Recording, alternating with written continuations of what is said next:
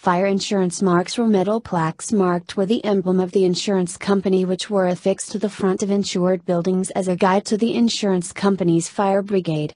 These identification marks were used in the 18th and 19th century in the days before municipal fire services were formed.